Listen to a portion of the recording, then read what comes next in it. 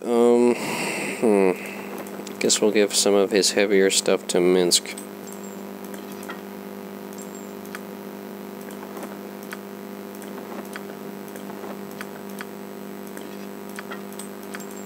Yeah, that fixed it. Oh, yes.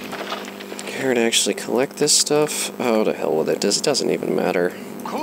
Plate and packing. Alright, so the party having to turn back on the second level of the Iron Throne mines after a horrendous fight, in which they initially seized the advantage, but uh, sure enough, the Black Talon elites, with their magical ice arrows, managed to strike down Imoen and Dynaheir before they knew what was going on. Butt kicking for goodness. I knew there was a danger about attacking from the kitchen, but I went and did it anyway, and that's the price you pay. I mean, obviously, we were the victors of the battle, but our losses were more than Kered would ever want. So, the unfortunate reality of this is that if Davaeorn is on the fourth floor and we've just cleared out the first and second floors and then leave and then come back later, obviously the enemies on the third and fourth floor are going to know that the party has been there and has, you know, pretty much cleared out the camp and the first and second levels and will be much more prepared for them the next time they come back. Which is just something the party will have to deal with. Hopefully, they can just sell some uh, magical equipment and other items that they have found in order to pay for uh, not only the resurrection of their friends, but also for supplies they're going to need when they come back to continue their fight against the Iron Throne. So, like other fights in the Cloakwood, the party doing its best to try to, you know, I guess, uh, a bit redundant, but Point. Aye, bunch. make the best of a bad situation. Returning to the friendly Arm Inn, You have been waylaid by enemies and must being ambushed by a very large pair of wyverns. Whoa. Kicking for goodness. Do we even have a chance against them? Or should we just flee? Squeaky wheel, get We have antidote potions. Uh, Minsc is going to drink a potion of vulnerabil- vulnerability. Khalid will drink his as well. your coal plate and packing steel. Jaheira will get ready to cure poison. Kered will try to stun one of them with his wand.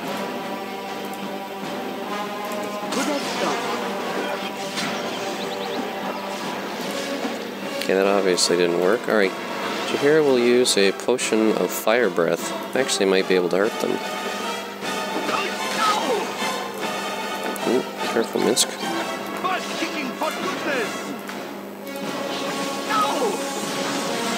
For goodness.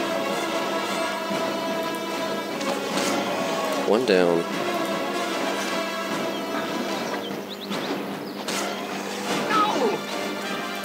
Easy. I can, but try.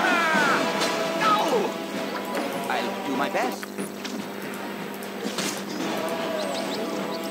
As we do.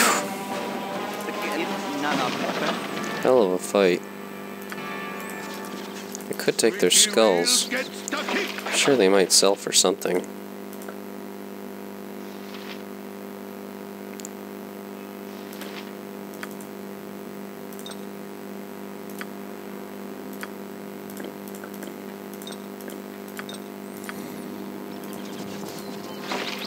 Can this carry another skull? No, not well. Is there anything that he can drop? No, not really. I guess he'll just walk a little slow. Coal plate and packing steel. Oh no, we're in the middle of the Cloakwood. That's a bad idea. Alright, Minsc dropping one of them wyvern skulls. Butt kicking for goodness. Party continuing its journey back towards the friendly Arm Inn. And making it there after, let's see, that was one day and 14 hours. And the other part was, I think, another day and six hours. So returning to the friendly Arm Inn nearly three days later, carrying with them the bodies and equipment of uh, Imoen and Dynaheir.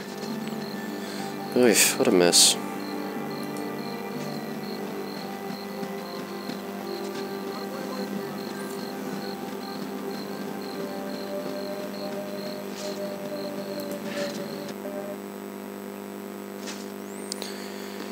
Just as I thought. Oh, oh boy. Okay. Hold still. Gellana, we need your services again. Everyone down here seem to have a mortality problem, and we need you to fix it.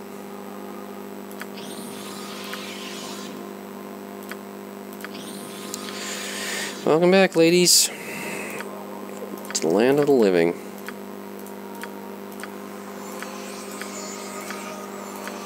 Okay. ay, ay, ay. You're a queer fellow. It's good to see you too, Imoen. Down here saying, Kered, thou need a healer.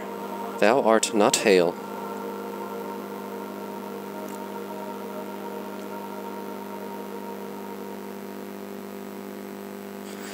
Kered saying, My lady's concern touches me, or does my look simply scare, my lady? I've seen enough not to feel faint at the sight of blood, Kered, mine or mine comrades.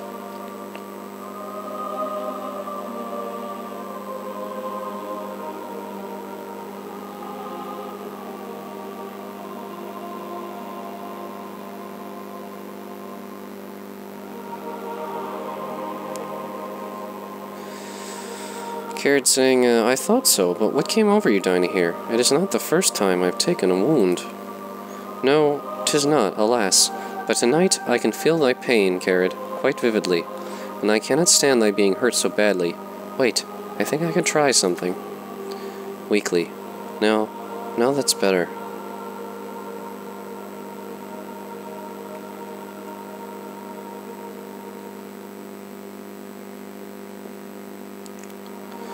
Kered, uh, with concern, saying, Dynaheir, are you yourself all right?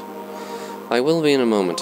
I suppose that now I know why mages should not attempt to use the weave to do God's work. Mine's tutors warned me about it when it was discovered that I have no talent for healing, unlike many of my sisters. But art thou better, my lo- lord?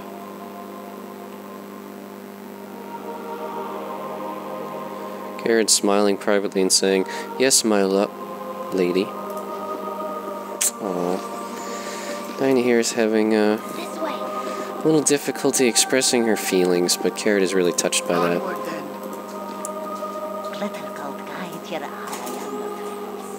Mm, let's just give everyone their stuff back.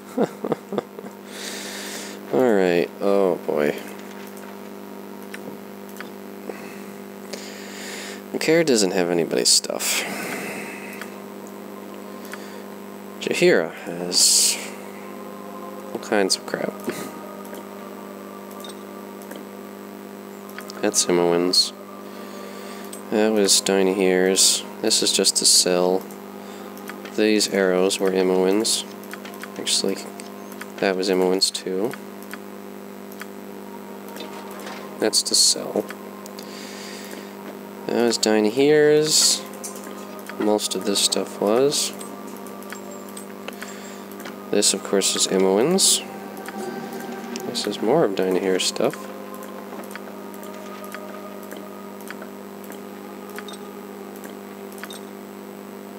Okay.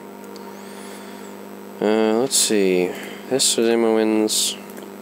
This was hers too.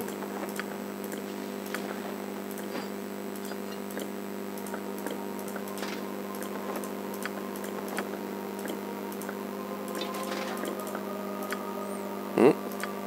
Okay. We'll give stuff that's going to be sold to Minsc. Imoen, re-equipping.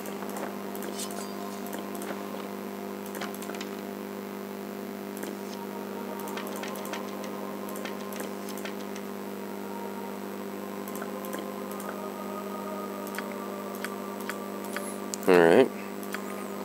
Okay. Scrolls. Um, which robe to wear? This one. Can I identify this one? No. Stuff to identify will be given to Kered.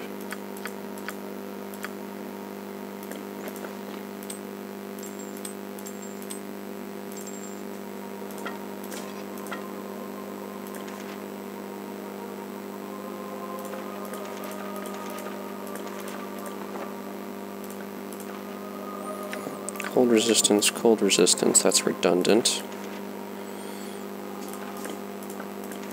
Okay. Get those identified. And go from there. Ready? Task at hand. Okay, identification.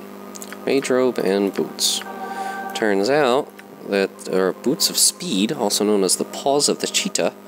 These enchanted boots were once the property of a deadly assassin fond of chasing down his prey. He moved with such speed that his targets often didn't have the opportunity to respond, even on horseback. Over time, the assassin's fame spread, and though his name was never known, all knew to fear the words last heard by his victims You can hide, but you cannot run. And the adventurer's robe. Enchanted to, uh, to meet the eclectic needs of the adventuring mage. Protects against crushing damage, also provides protection from the basilisk petrifying gaze and polymorphing powers of rival mages. So